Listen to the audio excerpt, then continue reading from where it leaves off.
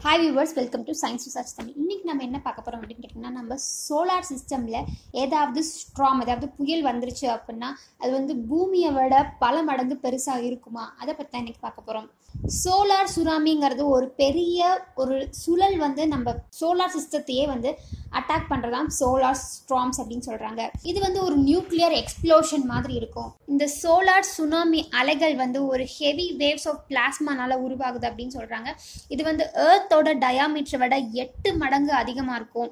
இது வந்து ஒரு மணி நேரத்துக்கு கிட்டத்தட்ட அஞ்சு லட்சத்தி அறுபதாயிரம் எம்பி வரைக்கும் பாஸ் ஆகும் அப்படின்னு சொல்கிறாங்க இது ஃபார்ம் ஆகிறதுக்கு ரெண்டு காம்பனன்ஸ் வந்து ரொம்ப இம்பார்ட்டன்ட் அது வந்து ஃபர்ஸ்ட் வந்து ஹைட்ரஜன் சன்னில் எழுபத்தஞ்சு பர்சன்டேஜ் வந்து ஹைட்ரஜனால் ஆனது. இந்த ஸ்ட்ராங் வந்து ஒரு செகண்டுக்கு கிட்டத்தட்ட அறுநூத்தி இருபது மில்லியன் ஹைட்ரோ கார்பன்ஸ் வந்து ஹீலியமாக கன்வெர்ட் பண்ணக்கூடிய சக்தி இருக்குது சோலார் ஸ்ட்ராங் வந்து வந்துருச்சு அப்படின்னா தொண்ணூற்றி ரெண்டு billion mega tons of TNT வந்து ப்ரொடியூஸ் ஆகும். இது ப்ரொடியூஸ் ஆகும்போது ரொம்பவே ஹீட்டாகவும் ரொம்பவே ரொம்பவே சூடாகவும் ரொம்ப ப்ரெஷர் அதிகமாகவும் இருக்கும். ஸோ அப்போ ஒரு மிகப்பெரிய கிராவிடேஷனல் ஃபோர்ஸ் வந்து உருவாகும்.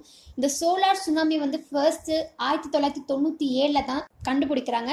இது வந்து ஃபர்ஸ்ட் வந்து ஒரு டெக்னிக்கல் மால் ஃபங்க்ஷன் அப்படின்னு நினச்சாங்க. பட் இது வந்து ஒரு பெரிய வேவ் ஒரு ஸ்ட்ராம் அப்படிங்கிறது கொஞ்ச நாளில் தான் சயின்டிஸ்ட் வந்து இது தெரிய வந்துச்சு. சன்னும் எர்த்தும் பார்த்தீங்கன்னா ஒரு மேக்னெட்ஸ் மாதிரி. ஸோ மேக்னெட்ஸ்க்கு ரெண்டு ரெண்டு சைடு இருக்கும். அதாவது பாசிட்டிவ் அண்ட் நெகட்டிவ் அப்படின்னு ரெண்டு சைடு இருக்கும். அந்த சோலார் சைக்கிளோட நடுப்பகுதியை வந்து நம்ம சோலார் மேக்ஸிமம் அப்படின்னு சொல்கிறோம் ஸோ இந்த மேக்னெட்டில் இருக்கிற ரெண்டு சைடு அதாவது பாசிட்டிவ் அண்ட் நெகட்டிவ் போச்சு என்ன பண்ணுது அப்படின்னா சன்னோட சார்ஜை வந்து மாற்றுது சோலார் சைக்கிளில் மொத்தமாக ரெண்டு பாசிட்டிவ் சார்ஜ் இருக்குது அப்படின்னு சொல்கிறாங்க இந்த சோலார் சைக்கிள் வந்து அதாவது அல்ட்ரா வயலட் ரேடியேஷன் கதிர்கள் வந்து வெடிச்சனால தான் வந்துச்சு அப்படின்னு இரண்டாயிரத்தி பதினாலில் பதிவு பண்ணுறாங்க ஸோ கடைசியாக சோலார் ஸ்ட்ராம் எப்போ வந்துச்சு அப்படின்னு கேட்டிங்கன்னா ஏழு லட்சத்தி எண்பதாயிரம் வருஷத்துக்கு முன்னாடி சோலார் ஸ்ட்ராங் வந்துச்சுன்னு சொல்கிறாங்க ஆனால் அது இப்போ தான் ஆயிரத்தி தொள்ளாயிரத்தி தொண்ணூற்றி ஏழில் தான் கண்டுபிடிச்சிருக்காங்க. அது ஏன் வந்துருச்சு அப்படின்னு. சோலார் ஸ்ட்ராங் வர்றதுக்கு மிக முக்கியமான காரணம் என்ன அப்படின்னா நம்ம பூமியில் இருக்கிற மாலிகுலர் ஃபோர்ஸ் அதாவது அந்த விசை கிராவிடேஷனல் விசை வந்து கம்மி ஆயிடுச்சு அப்படின்னா இந்த மாதிரியான டேமேஜ் வந்து அதிகமாக இருக்கும் ஸோ மேபி பிற்காலத்தில் இந்த மாதிரியான சோலார் புயல் வந்து அடிக்கிறதுக்கான வாய்ப்புகள் நிறையாவே இருக்குங்க.